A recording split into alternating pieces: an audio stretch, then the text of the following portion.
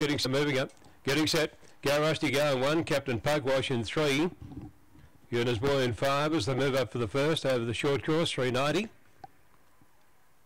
Wispy Bow, Small Bacon, Crown Tuxedo, Electra Rebel. Green light. Set now, Ballarat race one about to go. They're set. Racing. And Boy on Rebel on the outside jumped away very smartly. Indeed is going to come across and be the leader albeit narrowly over Eunice Boy pushing through. But uh, getting over now Electra Rebel takes over. The lead by two lengths now to Eunice Boy up to the turn followed then by Wispy Bale third a long gap in the race into Crown Tuxedo. Go Rusty go and Captain Pugwash up the straight. Electra Rebel's clear and Electra Rebel's too good by a length and a half. Wispy Bale second third Eunice Boy a gap then Crown Tuxedo followed by Go Rusty Go and Captain Pugwash in the time. Race one around 22.36